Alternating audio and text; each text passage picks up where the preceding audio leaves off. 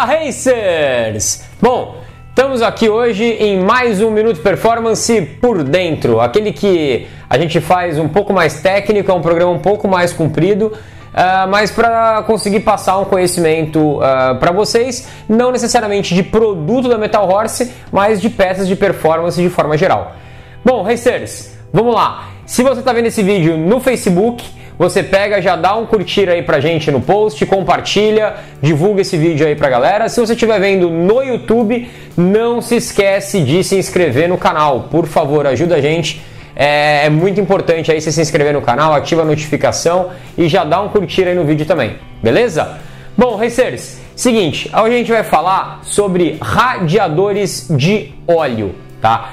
Radiador de óleo é uma peça extremamente importante e que muitas vezes as pessoas acabam negligenciando. Bom, para quem não sabe, o óleo ele tem uma função uh, além da lubrificação, tá? É, o óleo ele tem um papel extremamente importante na refrigeração do motor.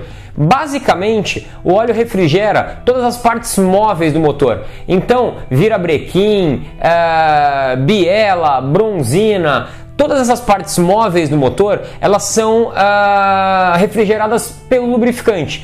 Você não tem é, fluido de arrefecimento ah, passando por dentro do motor, ele só passa por dentro do bloco. Então, assim, o líquido de arrefecimento ele refrigera o bloco e o óleo refrigera as partes móveis do motor. Então, é muito importante, especialmente para carros que são mais exigidos, carro de track day, por exemplo, carro de competição de maneira geral é, é muito importante você ter um radiador de óleo que te, te, te permita abusar aí e, e mexer no, no carro no, no, nível que muitos, muitos de vocês aí querem mexer. Bom, Hoje a gente vai falar sobre os radiadores de óleo de três tipos diferentes. A gente vai mostrar utilizando os, os, radiadores da Metal Horse, mas vocês vão conseguir identificar aí várias marcas no mercado que trabalham com radiadores parecidos uh, com os nossos de óleo. Tá? Vamos começar pelo mais basicão, que é a linha Street de radiador da Metal Horse. A linha Street ela tem uma, uma característica é, importante aí quanto à sua construção. Tá? É, se você observar, é, ele é composto por uma série de, de placas, tá vendo? E essas placas, se você olhar bem aqui, ó, tá vendo que elas formam como se fosse uma colmeiazinha? Ali, ó, bem aqui na lateral, tá vendo? Por quê? É, esse radiador ele é montado parte por parte. Então ele é um radiador estampado. Então cada peça dessa daqui, ó, no meu dedo aqui, ó, cada peça aqui é de cima e a de baixo, ó, ó, a de cima e a de baixo, elas são estampadas. É, isso permite que você faça um radiador com custo muito bom. É, porque estamparia é, é um processo altamente produtivo. Em compensação, ele é um radiador que ele é mais frágil. Ele não vai aguentar tanta pressão, ele vai sofrer com temperaturas muito elevadas, uh, ele vai ter uma, uma aparência aí mais, mais pobrinha, né? Ele não é um radiador tão bonito, uh, por exemplo, como um da linha Racing, eu vou mostrar para vocês. E ele também perde em eficiência, tá? Por quê? É, essa colmeia uh, do, do interna, né, a, a, que é formada por esse sanduíche das peças estampadas, ela não tem uma eficiência que, por exemplo, um bar plate ou um tubo extra fino uh, tem. Tá? Eu vou mostrar para vocês aqui internamente ele para vocês terem uma noção. Ó, tá vendo? Ó, por dentro aqui a gente vai observando, tá vendo que é um sanduíche? Ele tem uma parte de baixo, uma parte de cima, uma parte de baixo, uma parte de cima. Aí, descendo um pouquinho mais, Ó, eu, eu vou virar a câmera aqui lateralmente, você vai conseguir observar é, o espaço ele não é tão generoso quanto no bar plate. Vocês vão poder observar depois a, a, a comparação. Então, você tem um fluxo de óleo, tá? É, o óleo está 100% passando de um lado para o outro do radiador. Isso é extremamente importante, tá? Ele está é, passando por toda a colmeia tá? Mas ele é um, um, radiador de uma construção mais pobre, ele vai ter uh, algumas desvantagens aí em relação à, à linha Racing, tá? Bom, é, esse daqui é o radiador mais comum de ser utilizado uh, no mercado. Tá? Para carros de rua ele atende bem, mas para carros de performance maior você pode é, procurar um radiador de qualidade melhor. Tá? Uma dica importante é, desse radiador aqui é o seguinte: é, se você for fazer a montagem dele lateral, tá? É, você coloca sempre o óleo entrando pela parte alta do radiador e saindo pela parte baixa do radiador, tá?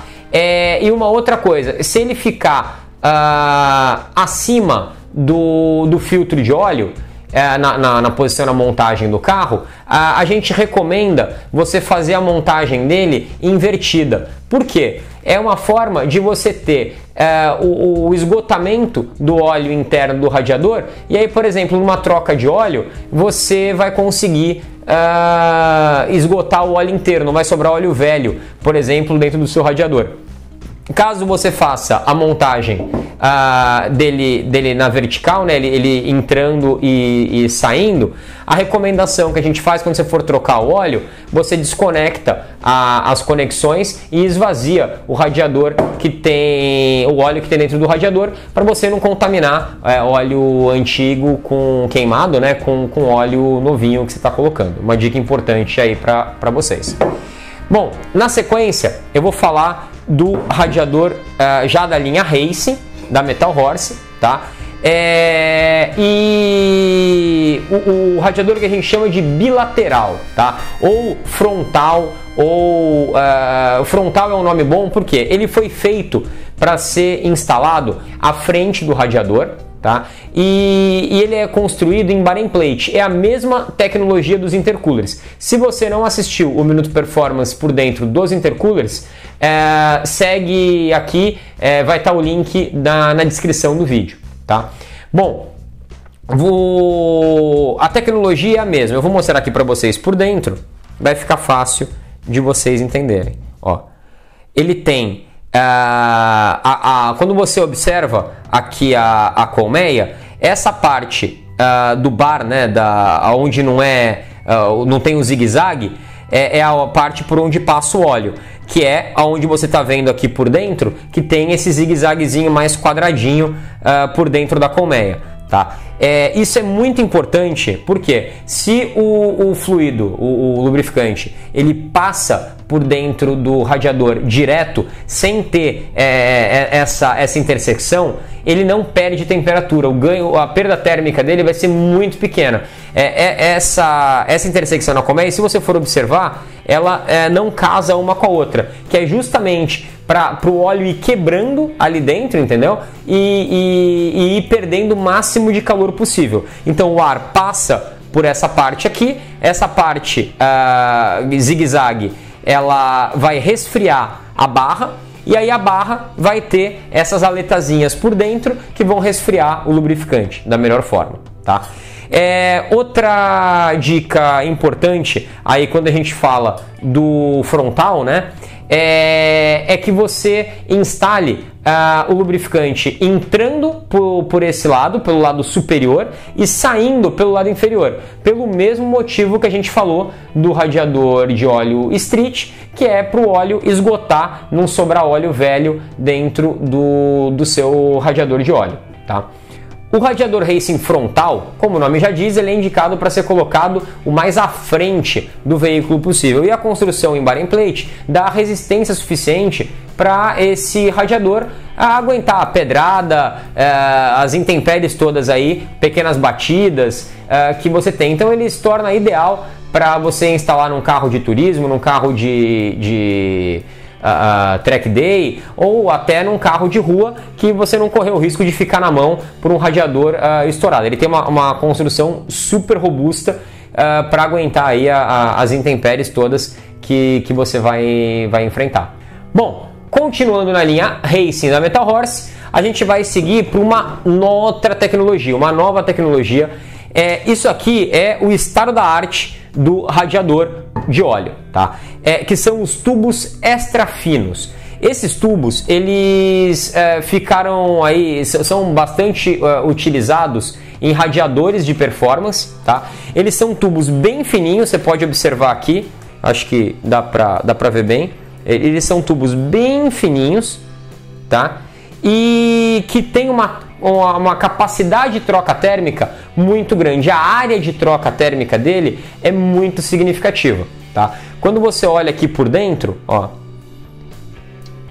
eles são tubos bem finos, certo? Mas que eles conseguem, pela quantidade de tubos que, que tem no, no, no radiador, você consegue é, ter o mínimo de pressão, de perda de pressão uh, possível com esse radiador. Uma coisa importante é que ele é unilateral, tá? Então o óleo entra e sai pelo mesmo lado. Poxa, André, mas como isso? O óleo não vai sair daqui e entrar aqui? Não.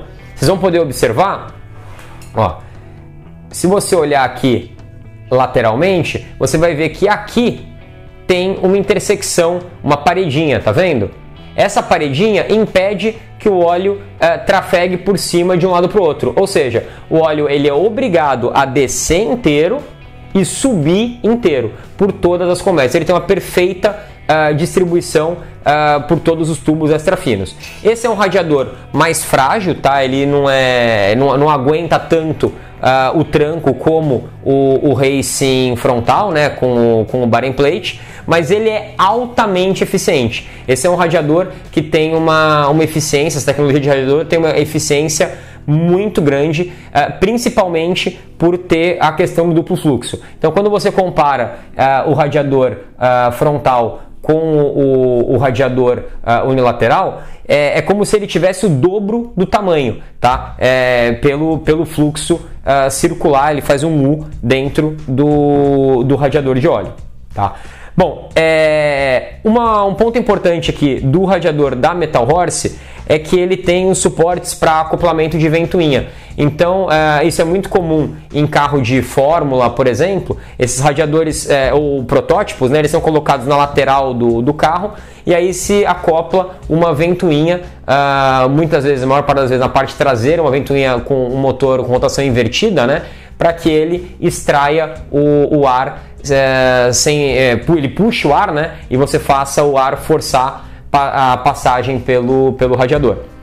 Novamente, a dica que eu deixo é: se for montar o, o radiador uh, lateralmente, uh, entra o óleo por cima e sai o óleo por baixo. Uh, se for montar ele verticalmente, coloca as duas saídas para baixo que você vai ter a melhor uh, performance, especialmente na hora de você substituir o lubrificante, não vai sobrar lubrificante velho dentro do radiador, tá?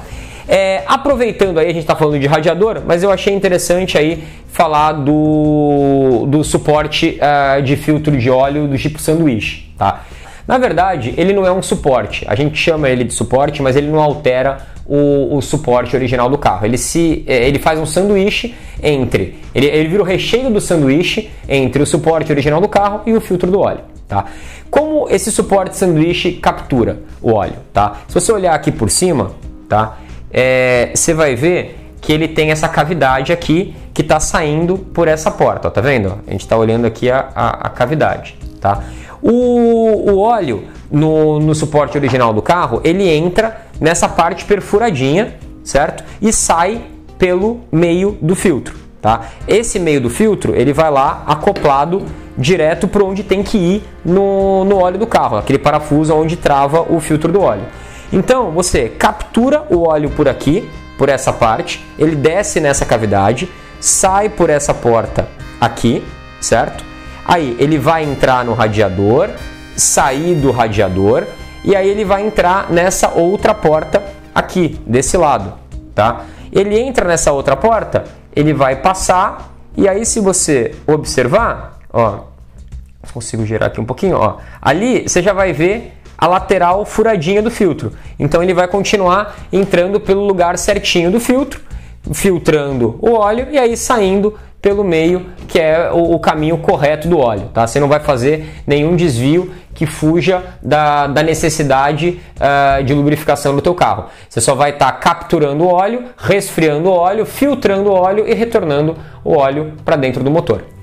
Beleza, racers? Bom, é, a gente falou um pouquinho de, de, radiador de óleo, da importância do radiador de óleo, uh, qual que é a função do radiador de óleo, tecnologias diferentes de radiador de óleo. Mas se você ainda tiver alguma dúvida sobre radiadores de óleo, aproveita, deixa aqui nos comentários, faz pergunta pra gente que a gente responde o mais rápido possível e você vai, vai interagindo aí, a gente vai tentando esclarecer todas as dúvidas uh, que vocês tenham, beleza? Bom, não esquece, se inscreve no canal, uh, segue a gente no, no Facebook e se quiser mandar e-mail pra gente, é só mandar para o contato metalhorse.com.br ou acessar o site www.metalhorse.com.br. Beleza? Valeu, Racers! Racer, você que assiste nossos vídeos no Facebook, não sei se você sabe, mas a gente tem um canal no YouTube. Lá, os vídeos são todos organizados em categoria e você pode também se inscrever para receber as atualizações assim que o vídeo é postado.